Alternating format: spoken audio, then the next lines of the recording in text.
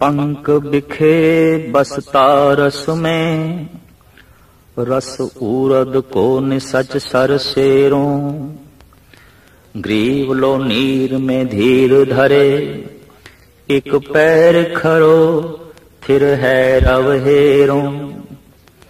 आतप सीत सहे बरखा, तप साधत या विधि क्रूर घनेरों। श्री हर राय के पाए समानता पाए न कंज उपाय बतेरों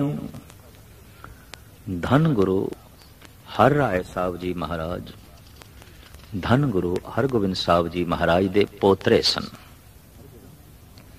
ਆਪ ਦਾ ਅਵਤਾਰ ਮਾਘ ਸੁਦੀ 13 ਸੰਮਤ 1687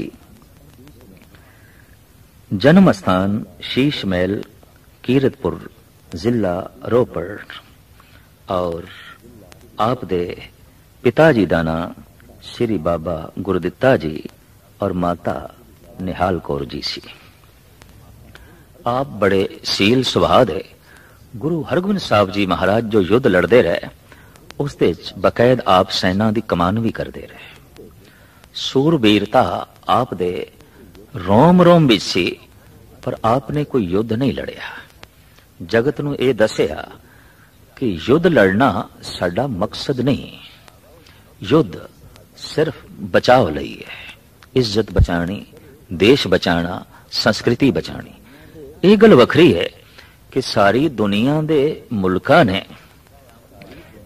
ਇਸ ਮਹਿਕਮੇ ਦਾ ਨਾਮ ਬਚਾਓ ਮਹਿਕਮਾ ਰੱਖਿਆ ਹੈ ਡਿਫੈਂਸ ਲੇਕਿਨ ਗਜ਼ਬ ਦੀ ਗੱਲ ਹੈ ਅੱਜ ਤੱਕ ਤੇ ਹਮਲੇ ਹੀ ਆਉਂਦੇ ਰਹੇ ਨੇ ਬਚਾਓ ਨਹੀਂ। ਸਹੀ ਮੈਨਿਆਂ ਵਿੱਚ ਬਚਾਓ ਲਈ ਤੌਰ ਤਰੀਕਾ ਅਪਣਾਇਆ ਧਨ ਗੁਰੂ ਹਰ ਰਾਏ ਸਾਹਿਬ ਜੀ ਮਹਾਰਾਜ ਨੇ। 2200 ਅਸਵਾਰ ਆਪ ਦੇ ਨਾਲ ਹਰ ਵਕਤ ਰਹਿੰਦੇ ਸਨ। ਲੇਕਿਨ ਆਪ ਨੇ ਭੁੱਲ ਕੇ ਵੀ ਕਿਧਰੇ ਯੁੱਧ ਨਹੀਂ ਕੀਤਾ।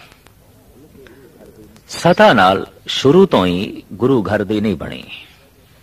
ਬਾਬਰ ਨੇ ਗੁਰੂ ਨਾਨਕ ਨੂੰ ਜੇਲ੍ਹ ਵਿੱਚ ਪਾ ਦਿੱਤਾ। ਔਰ ਜਹਾਂਗੀਰ ਨੇ ਗੁਰੂ ਅਰਜਨ ਦੇਵ ਜੀ ਮਹਾਰਾਜ ਨੂੰ ਸ਼ਹੀਦ ਕਰ ਦਿੱਤਾ। ਸ਼ਾਹਜਹਾਂ ਵੀ ਖਾਰ ਖਾਂਦਾ ਸੀ ਕਿਉਂਕਿ ਜੋ ਯੁੱਧ ਗੁਰੂ ਹਰਗੋਬਿੰਦ ਸਾਹਿਬ ਜੀ ਮਹਾਰਾਜ ਨਾਲ ਲੜੇ ਗਏ, ਉਹ ਸ਼ਾਹਜਹਾਂ ਦੇ ਹੀ ਭੇਜੇ ਹੋਏ ਸੂਬੇਦਾਰ ਸਨ ਔਰ ਉਸ ਦੇ ਹੀ ਕਾਰਨ ਦੇ ਉਸੇ ਦੇ ਹੀ ਬੰਦੇ ਸਨ। ਉਹ ਵੀ ਕਰੀਬਨ ਕਰੀਬਨ ਅੰਦਰੋਂ ਚੜਿਆ ਹੋਇਆ ਹੀ ਸੀ।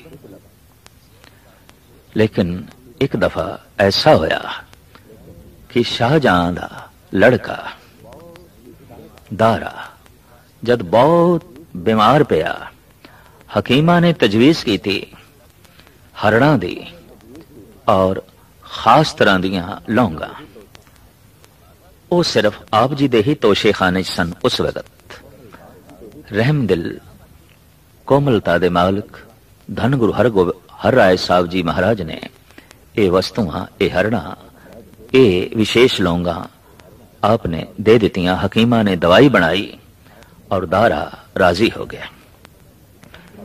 ਇੱਥੋਂ ਪਤਾ ਚੱਲਦਾ ਹੈ ਕਿ ਅੰਦਰੋਂ ਦੁਸ਼ਮਣੀ ਨਹੀਂ ਸੀ ਸਤਾ ਨਾਲ, ਸਤਾਧਾਰੀਆਂ ਨਾਲ। ਸਤਾ ਦੀ ਕੁਰੀਤੀ ਨਾਲ ਨਫ਼ਰਤ ਹੈ। ਕਿਉਂਕਿ ਕੁਰੀਤੀ ਨੂੰ ਅਗਰ ਦੂਰ ਨਾ ਕੀਤਾ ਜਾਏ, ਤਾਂ ਰਾਜਨੀਤਿਕ ਕੁਰੀਤੀ ਧਰਮ ਨੂੰ ਭ੍ਰਸ਼ਟ ਕਰ ਦਿੰਦੀ ਹੈ, ਸਮਾਜ ਨੂੰ ਭ੍ਰਸ਼ਟ ਕਰ ਦਿੰਦੀ ਹੈ ਔਰ ਇਸੇ ਤਰੀਕੇ ਨਾਲ ਮੁਲਕ ਨੂੰ ਖੇਰੂ ਖੇਰੂ ਕਰ ਦਿੰਦੀ ਹੈ। ਧੰਨ ਗੁਰੂ ਹਰ ਰਾਏ ਸਾਹਿਬ ਜੀ ਮਹਾਰਾਜ ਨੇ ਥਾਂ ਥਾਂ ਤੇ ਵਿਚਰ ਕੇ ਭਰਮਣ ਕਰਕੇ ਆਪ ਇਹੀ ਸੰਦੇਸ਼, ਉਪਦੇਸ਼ ਦਿੱਤਾ ਕਿ ਅੰਦਰ ਸਬਰ ਰੱਖਣਾ ਹੈ ਔਰ ਜੋ ਕੁਝ ਵੀ ਕੋਲ ਹੈ, ਵਿਸ਼ੇਸ਼ ਉਸ ਦੀ ਪ੍ਰਦਰਸ਼ਨੀ ਨਹੀਂ ਕਰਨੀ, ਨੁਮਾਇਸ਼ ਨਹੀਂ ਕਰਨੀ।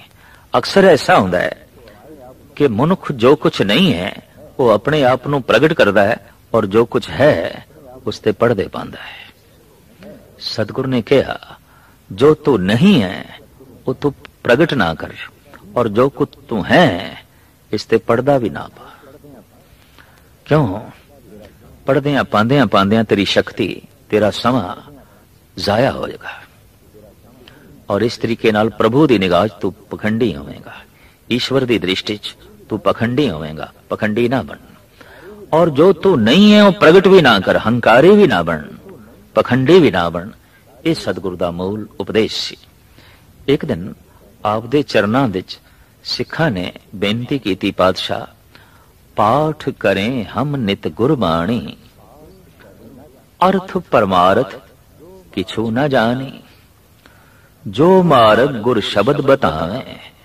ਸੋ ਹਮ ਤੇ ਨਹੀਂ ਜਾਤ ਕਮਾਏ ਸਾਹਿਬ, ਅਸੀਂ ਅਰਥ ਬਹੁਤ ਤੇ ਜਾਣਦੇ ਨਹੀਂ।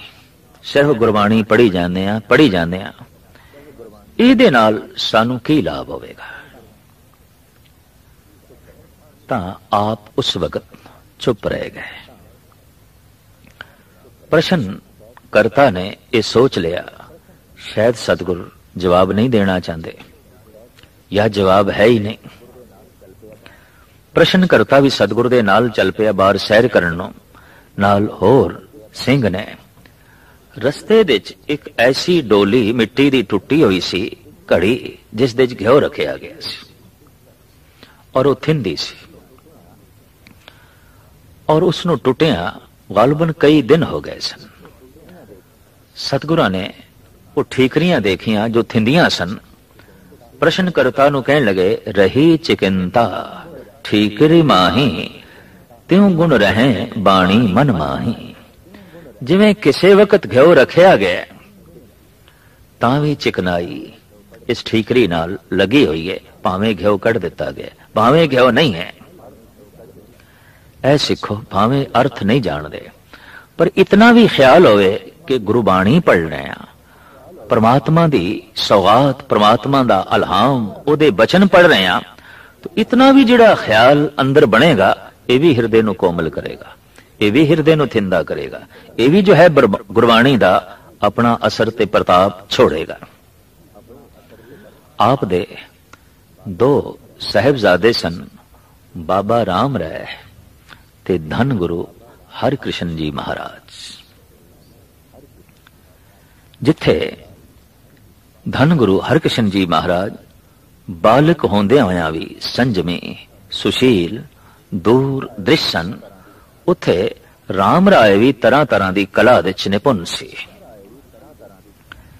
ਬਾਦਸ਼ਾਹ ਨੇ ਸਤਗੁਰਾਂ ਨੂੰ ਦਿੱਲੀ ਜਦ ਸਦਿਆ, ਤਾਂ ਆਪ ਨੇ ਸਿਆਣਾ ਸਮਝ ਕੇ, ਸੂਝਵਾਨ ਤੇ ਦੂਰ ਦ੍ਰਿਸ਼ ਸਮਝ ਕੇ ਬਾਬੇ ਰਾਮ ਰਾਏ ਨੂੰ ਭੇਜਿਆ। ਬਾਦਸ਼ਾਹ ਕਰਾਮਾਤਾਂ ਵੇਖਣਾ ਚਾਹੁੰਦਾ ਸੀ। ਸ਼ਾਹਜਹਾਂ ਦੀ ਬਿਮਾਰੀ ਤੋਂ ਬਾਅਦ ਔਰੰਗਜ਼ੇਬ ਗੱਦੀ ਤੇ ਬਿਰਾਜਮਾਨ ਹੋ ਚੁੱਕਿਆ ਸੀ ਔਰ ਇਸੇ ਦਾ ਹੀ ਸੱਦਾ ਗੁਰੂ ਹਰ ਰਾਏ ਸਾਹਿਬ ਜੀ ਮਹਾਰਾਜ ਨੂੰ ਆਇਆ। ਰਾਮ ਰਾਏ ਨੂੰ ਔਰੰਗਜ਼ੇਬ ਨੇ ਆਖਿਆ ਕੁਝ ਕਰਾਮਾਤਾਂ ਦਿਖਾ। ਗੁਰੂ ਨਾਨਕ ਦੇ ਘਰ ਦੀਆਂ ਕਰਾਮਾਤਾਂ ਕੀ ਨੇ? ਬੜੀ ਸੁਣੀ ਹੈ ਗੱਲ ਗੁਰੂ ਨਾਨਕ ਦੀ। ਬਹੁਤ ਵੱਡੀ ਮਹਿਮਾ ਸੁਣੀ ਹੈ ਗੁਰੂ ਅਰਜਨ ਦੇਵ ਜੀ ਦੀ। ਤੋ ਕੁਝ ਕਰਾਮਾਤਾਂ ਦੱਸੋ। ਕਹਿੰਦੇ ਨੇ, ਸ਼ਾਹੀ ਰੋਬ ਦਾਬ ਦੇ ਅਧੀਨ ਬਾਬਾ ਰਾਮ ਰਾਏ ਹੋ ਗਏ ਔਰ ਇਹਨਾਂ ਨੇ ਨਾਮ ਸਿਮਰ ਕੇ ਬੰਦਗੀ ਕਰਕੇ ਤੇ ਸਤਿਗੁਰ ਦੀ ਹਜ਼ੂਰੀ ਦੇ ਚ ਰਹਿ ਕੇ ਜੋ ਸ਼ਕਤੀਆਂ ਪ੍ਰਾਪਤ ਕੀਤੀਆਂ ਸਨ, ਕਰਾਮਾਤਾਂ ਦੇ ਰੂਪ ਵਿੱਚ ਦਿਖਾਣੀਆਂ ਸ਼ੁਰੂ ਕੀਤੀਆਂ। ਇਤਿਹਾਸਕਾਰ ਲਿਖਦੇ ਨੇ ਆਪ ਨੇ 72 ਕਰਾਮਾਤਾਂ ਦਿਖਾਈਆਂ। ਔਰੰਗਜ਼ੇਬ ਦੇ ਮਨ ਤੇ ਬਹੁਤ ਵੱਡਾ ਪ੍ਰਭਾਵ ਪਿਆ ਔਰ ਉਹਨੇ ਸਭਾ ਵਿੱਚ ਬਕਾਇਦਾ ਬੈਠਣ ਲਈ ਇੱਕ ਕੁਰਸੀ ਵੀ ਦਿੱਤੀ। ਲੇਕਿਨ ਮਨ ਵਿੱਚ ਇੱਕ ਈਰਖਾ ਰੱਖਦਾ ਸੀ ਕਿ ਇਹ ਸ਼ਕਤੀਆਂ ਕਿਧਰੇ ਮੇਰੀ ਰਾਜ ਸਤਾ ਲਈ ਖਤਰਾ ਨਾ ਹੋ ਜਾਣ। ਇਹ ਸ਼ਕਤੀਆਂ ਕਿਧਰੇ ਗੁਰੂ ਅਰਜਨ ਦੇਵ ਜੀ ਮਹਾਰਾਜ ਦਾ ਬਦਲਾ ਨਾ ਲੈਣ, ਗੁਰੂ ਹਰਗੋਬਿੰਦ ਸਾਹਿਬ ਜੀ ਮਹਾਰਾਜ ਦਾ ਬਦਲਾ ਨਾ ਲੈਣ, ਕਿਉਂਕਿ ਗੁਰੂ ਅਰਜਨ ਦੇਵ ਜੀ ਮਹਾਰਾਜ ਨੂੰ ਸ਼ਹੀਦ ਕੀਤਾ ਗਿਆ ਤੇ ਗੁਰੂ ਹਰਗੋਬਿੰਦ ਸਾਹਿਬ ਜੀ ਮਹਾਰਾਜ ਨੂੰ ਜੇਲ੍ਹ ਵਿੱਚ ਪਾਇਆ ਗਿਆ ਇਹ ਈਰਖਾ ਵੀ ਰੱਖਦਾ ਸੀ ਇੱਕ ਦਿਨ ਔਰੰਗਜ਼ੇਬ ਨੇ ਬਾਬੇ ਰਾਮ ਰਾਏ ਨੂੰ ਆਖਿਆ ਕਿ ਗੁਰੂ ਗ੍ਰੰਥ ਸਾਹਿਬ ਜੀ ਮਹਾਰਾਜ ਦੇ ਵਿੱਚ ਕੁਝ ਤੋਹੀਨ ਆਮੇਜ਼ ਅਲਫਾਜ਼ ਨੇ जैसे कि मिट्टी मुसलमान की पेड़े पई कुम्हार ਇੱਕਦਮ ਰਾਜਨੀਤਿਕ ਰੋਬ ਦੇ ਥੱਲੇ ਆ ਕੇ ਭੈਭੀਤ ਹੋ ਕੇ ਰਾਮ ਰਾਏ ਨੇ ਕਹਿ ਦਿੱਤਾ ਬਾਦਸ਼ਾਹ ਸਲਾਮਤ ਮਿੱਟੀ ਮੁਸਲਮਾਨ ਕੀ ਨਹੀਂ ਹੈ ਮਿੱਟੀ ਬੇਈਮਾਨ ਕੀ ਪੇੜੇ ਪਈ ਕੁਮਿਆਰ ਇਹ ਬੋਲ ਜਦ ਧਨ ਗੁਰੂ ਹਰ ਰਾਏ ਸਾਹਿਬ ਤੱਕ ਪਹੁੰਚੇ ਤਾਂ ਆਪ ਨੇ ਮੂੰਹ ਲਾਣ ਤੋਂ ਇਨਕਾਰ ਕਰ ਦਿੱਤਾ ਤੇ ਸਿੱਖ ਸੰਗਤਾਂ ਨੂੰ ਵੀ ਹੁਕਮਨਾਮੇ ਭੇਜ ਦਿੱਤੇ RAM ਰਾਏ ਨੂੰ ਕੋਈ ਮੂੰਹ ਨਾ ਲਾਵੇ ਇਸ ਨੇ ਗੁਰੂ ਨਾਨਕ ਦੀ ਬਾਣੀ ਨੂੰ ਬਦਲਿਆ ਉਹਦੀ ਰੂਪ ਰੇਖਾ ਨੂੰ ਬਦਲਿਆ ਉਹਦੇ ਅਰਥ, ਭਾਵ ਨੂੰ ਬਦਲਿਆ ਔਰ ਇਹ ਰਾਜਨੀਤੀ ਦੇ ਰੋਬ ਥੱਲੇ ਆ ਗਿਆ ਉਹ ਫਕੀਰ ਨਹੀਂ, ਜੋ ਰਾਜਨੀਤਿਕ ਰੋਬ ਦੇ ਥੱਲੇ ਆ ਗਿਆ ਫਕੀਰ ਤੇ ਉਹ ਹੈ, ਜਿਹਦੇ ਜ਼ੇਰ ਅਸਰ ਰਾਜਨੀਤੀ ਚਲੇ। ਫਕੀਰ ਉਹ ਨਹੀਂ, ਜੋ ਰਾਜਨੀਤੀ ਦੇ ਜ਼ੇਰ ਅਸਰ ਹੋ ਜਾਏ। ਇਹ ਠੀਕ ਹੈ ਕਿ ਸਤਾ ਆਪਣੇ ਆਪ ਦੇ ਵਿੱਚ ਬੜੀ ਪ੍ਰਬਲ ਸ਼ਕਤੀ ਹੈ। ਪਰ ਉਸ ਵਿੱਚ ਧਰਮ ਨਾ ਹੋਵੇ, ਧਰਮ ਤੋਂ ਮੁਰਾਦ ਪਿਆਰ ਨਾ ਹੋਵੇ, ਸਚਾਈ ਨਾ ਹੋਵੇ, ਨਿਰਵੈਰਤਾ ਨਾ ਹੋਵੇ, ਇਨਸਾਫ ਨਾ ਹੋਵੇ, ਦਇਆ ਨਾ ਹੋਵੇ, ਕੋਮਲਤਾ ਨਾ ਹੋਵੇ, ਤੋ ਰਾਜਨੀਤੀ ਠੋਸ ਪੱਥਰ ਬਣ ਜਾਂਦੀ ਹੈ ਔਰ ਠੋਸ ਪੱਥਰ ਲੋਕਾਂ ਦੇ ਸਿਰ ਤੋੜਦੀ ਹੈ। ਲੋਕਾਂ ਦਾ ਕਚੂਮਰ ਕਰਦੀ ਹੈ। ਔਰ ਐਸਾ ਅੱਜ ਤੱਕ ਸਮੂਹ ਸੰਸਾਰ ਵਿੱਚ ਹੁੰਦਾ ਰਿਹਾ ਹੈ। ਗੁਰੂ ਹਰ ਰਾਏ ਸਾਹਿਬ ਜੀ ਮਹਾਰਾਜ ਨੇ ਆਖਿਰ ਇਹ ਗੱਦੀ ਧੰਨ ਗੁਰੂ ਹਰ ਕ੍ਰਿਸ਼ਨ ਜੀ ਮਹਾਰਾਜ ਨੂੰ ਬਖਸ਼ਿਸ਼ ਕੀਤੀ, ਜਿਨ੍ਹਾਂ ਦੀ ਆਯੂ ਸਿਰਫ 5 ਸਾਲ ਦੀ ਸੀ। ਰਾਮ ਰਾਏ ਨੂੰ ਚਿੜ ਹੋਣੀ ਕੁਦਰਤੀ ਸੀ। ਪਿਤਾ ਦੇ ਇਸ ਫੈਸਲੇ ਤੋਂ ਬਹੁਤ ਔਖੇ ਹੋਏ, ਬਹੁਤ ਔਖੇ ਹੋਏ ਵੀ ਇਹ ਮੇਰੇ ਨਾਲ ਅਨਿਆਏ ਹੋਇਆ ਇਹ ਮੇਰੇ ਨਾਲ ਦਰੋਹ ਹੋਇਆ ਔਰ ਬਕਾਇਦਾ ਗੁਰੂ ਹੋਣ ਦਾ ਦਾਵਾ ਕੀਤਾ। ਪਹਿਲੇ ਅਰਜ਼ੀ ਦਿੱਤੀ ਔਰੰਗਜ਼ੇਬ ਨੂੰ ਕਿ ਗੁਰਗੱਦੀ ਮੈਨੂੰ ਦਿਲਾਈ ਜਾਵੇ। ਹੁਣ ਕੌਣ ਦੱਸੇ RAM ਰਾਏ ਨੂੰ? ਗੁਰਗੱਦੀ ਤੇ ਪ੍ਰਭੂ ਦੀ ਤਰਫੋਂ ਮਿਲੇ ਉਹੀ ਗੱਦੀ ਆਉਂਦੀ ਹੈ ਤੇ ਜਿਸ ਗੱਦੀ ਨੂੰ ਰਾਜਾ ਦਿਲਾਵੇ, ਇੱਕ ਬਾਦਸ਼ਾਹ ਦਿਲਾਵੇ, ਉਹ ਗੱਦੀ ਧਰਮ ਦੀ ਗੱਦੀ ਨਹੀਂ ਹੋਵੇਗੀ। ਉਹ ਸੱਚ ਦਾ ਸਿੰਘਾਸਣ ਨਹੀਂ ਹੋਵੇਗਾ। ਲੇਕਿਨ ਅਰਜ਼ੀ ਦਿੱਤੀ।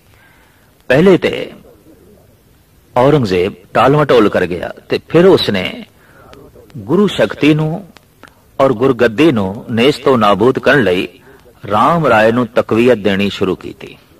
ਉਸਨੇ ਬਹੁਤ ਵੱਡੀਆਂ ਜਗੀਰਾਂ ਰਾਮ ਰਾਏ ਨੂੰ ਦਿੱਤੀਆਂ ਤਾਂ ਕਿ ਸ਼ਕਤੀਸ਼ਾਲੀ ਬਣੇ ਔਰ ਇੱਕ ਭਰਾ ਭਰਾ ਲਈ ਧੋਖੀ ਬਣੇ ਔਰ ਇਸ ਤਰ੍ਹਾਂ ਗੁਰਗੱਦੀ ਨਸ਼ਟ ਹੋਵੇ। ਗੁਰੂ ਹਰ ਰਾਏ ਸਾਹਿਬ ਜੀ ਮਹਾਰਾਜ ਦਾ ਸਿੱਖ ਸੰਗਤਾਂ ਦਾ ਬਹੁਤ ਵੱਡਾ ਅਸਰ ਹੋਇਆ। ਪੰਜਾਬ ਦੀਆਂ ਸਿੱਖ ਸੰਗਤਾਂ ਨੇ ਰਾਮ ਰਾਏ ਤੋਂ ਮੂੰਹ ਮੋੜ ਲਿਆ। ਲੇਕਿਨ ਫਿਰ ਵੀ ਬਚੀਆਂ ਕੁਚੀਆਂ ਕਰਾਮਾਤਾਂ ਦੇ ਆਸਰੇ ਤੇ ਇਹ ਭੋਲੀ ਭਾਲੇ ਜਨਤਾ ਨੂੰ, ਲੋਕਾਂ ਨੂੰ ਆਪਣੇ ਕਾਬੂ ਵਿੱਚ ਕਰਦਾ ਰਿਹਾ ਔਰ ਇਸ ਤਰੀਕੇ ਦੇ ਨਾਲ ਆਪਣੇ ਗੁਰੂ ਹੋਣ ਦਾ ਪ੍ਰਚਾਰ ਵੀ ਕਰਦਾ ਰਿਹਾ। ਸਾਹਿਬ ਸ੍ਰੀ ਗੁਰੂ ਹਰ ਰਾਏ ਸਾਹਿਬ ਜੀ ਮਹਾਰਾਜ ਸੰਗਤਾਂ ਨੂੰ ਸੁਚੇਤ ਕਰਦੇ ਰਹੇ, ਸਾਵਧਾਨ ਕਰਦੇ ਰਹੇ, ਗੁਰਬਾਣੀ ਨਾਲ ਜੋੜਦੇ ਰਹੇ ਔਰ ਗੁਰਬਾਣੀ ਦਾ ਪ੍ਰਚਾਰ ਕਰਦੇ ਰਹੇ।